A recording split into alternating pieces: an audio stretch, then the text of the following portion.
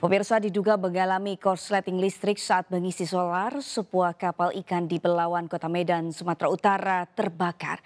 Kebakaran tersebut membuat panik nelayan dan warga di kawasan pelabuhan.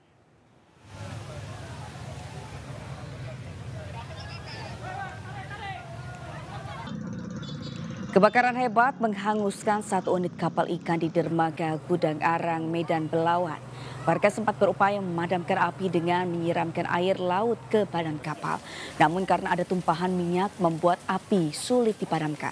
Diduga asal api berasal dari korsleting listrik saat pemilik kapal mengisi solar dengan kondisi mesin kapal menyala.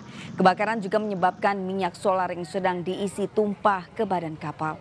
Api berhasil dijinakkan setelah empat unit mobil damkar didatangkan untuk memadamkan api yang melahap kapal. Kerugian pemilik kapal ditaksir mencapai puluhan juta rupiah.